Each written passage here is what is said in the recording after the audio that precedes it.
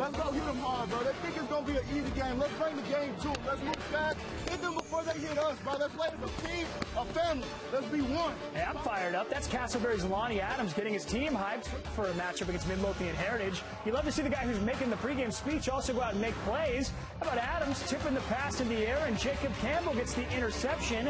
The Lions could not punch it in from there, and then, well, it all went downhill from there. The Jaguars got it together behind running back Latray Miller, who ran for 140 yards, including this 20-yarder into the red zone. He would later score one of his three touchdowns as Midlothian Heritage dominates Castleberry 70 to 7 and will play the winner of our next game.